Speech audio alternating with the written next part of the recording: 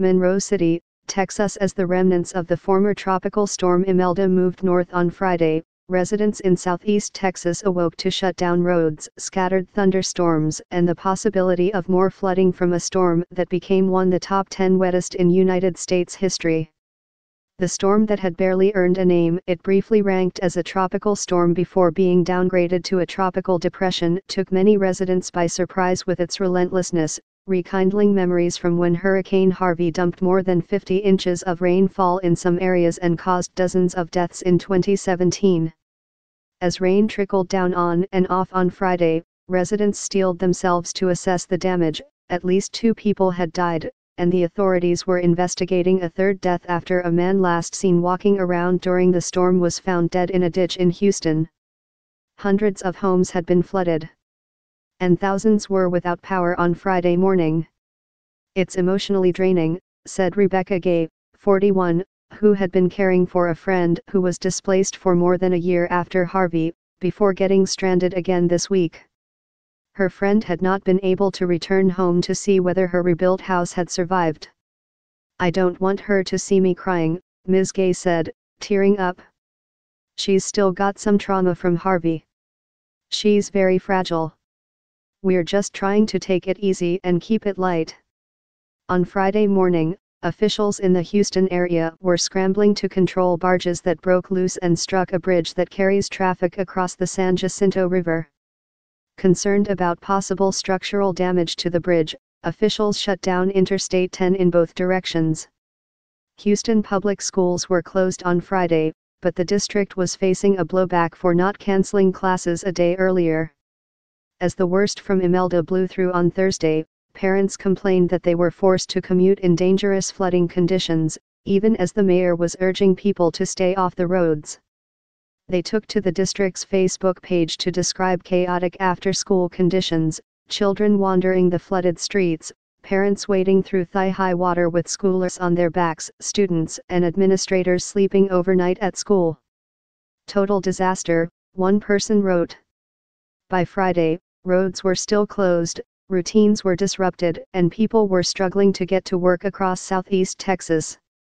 Some, like Charlotte Kinsey, were sick with worry over missing family members. Ms. Kinsey fled her three-bedroom trailer home in Winnie, Texas, on Thursday afternoon as the floodwaters rose around her and her three-week-old daughter, Naomi Grace Galley.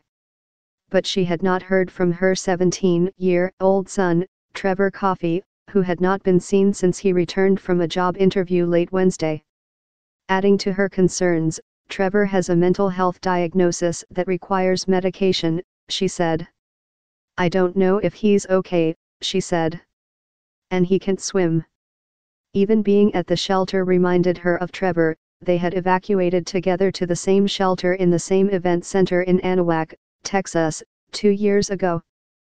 This is Harvey all over again and we barely made it out the last time, Ms. Kinsey said. We're talking about going to my mother's in Colorado. I can't do this. I'm not putting my kids through this anymore. One possibility emerged late Thursday, a Greyhound bus had been stranded for hours on flooded Interstate 10, and those inside were on the way to the shelter. But it turned out to be a false lead. Trevor was not on the bus. By Friday morning, still at the shelter, Ms. Kinsey said in a text message that her son was still missing.